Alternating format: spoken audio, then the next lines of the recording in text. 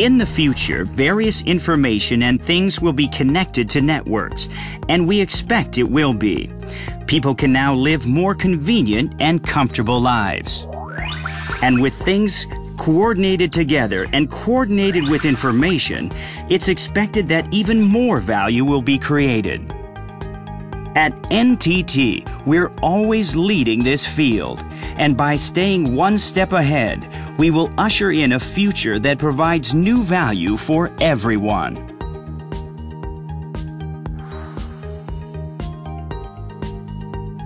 When various information and things are connected to networks, it's referred to as the Internet of Things, or IoT and huge, varied, and incomplete data generated by IoT need to be processed and responded to in a very short time. Today, the cloud has become an indispensable part of that process. However, the cloud that's been centrally deployed on a global scale needs to process an enormous amount of data.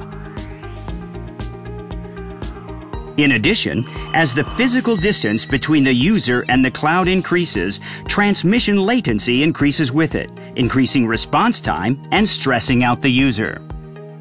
On top of that, the processing speed in this environment is largely dependent on the performance of the user's device.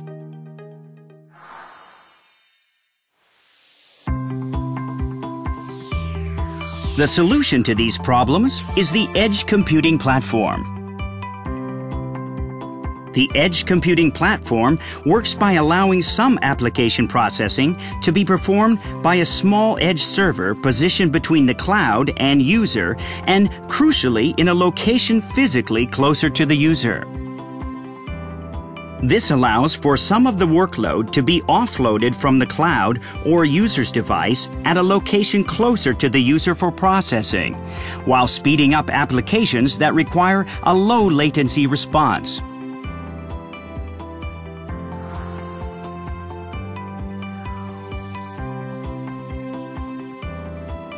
A good example of an application is a web browser. Web browsers are currently one of the most widespread applications in use by businesses and private users.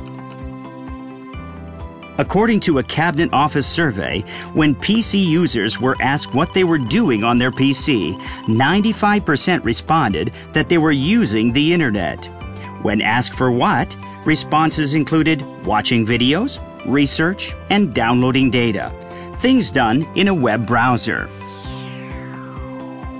And in recent years, web browsers have been operating on more and more devices, from set top boxes and stick PCs to digital signage displays. Yet the usability and display speed of a web browser is heavily dependent on the device's performance, and if it's not up to the task, the wait can be stressful. So, to reduce that stress, NTT has developed a web browser that offloads part of the workload to an edge server.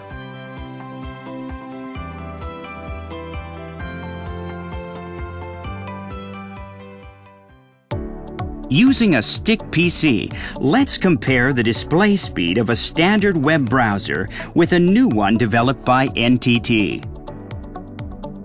As you can see, websites with complex processing like JavaScripts and websites with lots of images in particular load faster in NTT's newly developed browser.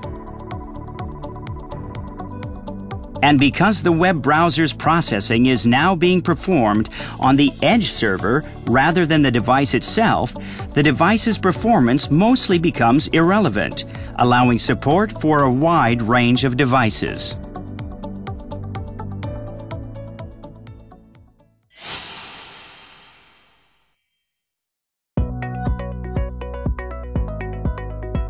In the near future, various information and things will be connected to networks, and they will collaborate with each other without us being conscious of them at all.